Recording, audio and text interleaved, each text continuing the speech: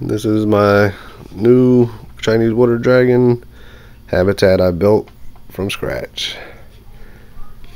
Use some 2 by 4s some uh, quarter inch plywood and eighth inch plywood.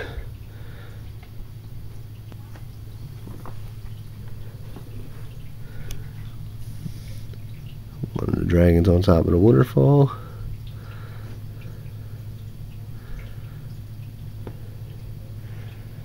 The other one is basking down there.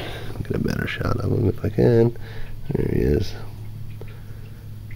Two basking lights, one on the bottom down here, one up top.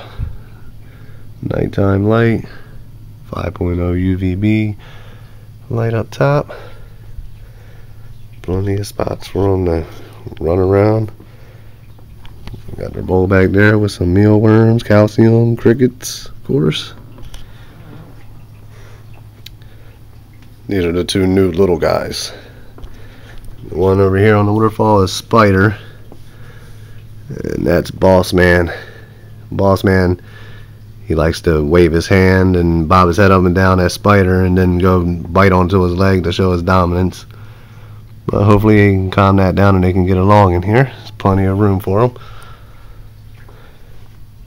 But yeah, it's about six foot tall, a little over six foot, maybe six two, and then about I don't know three foot wide.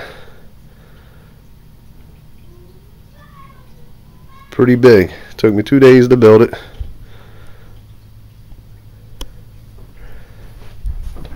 Let's go in the kitchen. I got my almost a year old dragon in here. He's up there sleeping. I've tried to see if he would uh, allow the uh, little ones in here with him, but he showed aggression, so I hurried up and pulled him out before anything happened. So I'll wait till the other ones are bigger to see if they can get along, and then maybe all three go in there. But he's in like a, I don't know, two and a half foot by, I don't know, three and a half foot. He's got plenty of stuff too. He's got his waterfall, his climbing spots.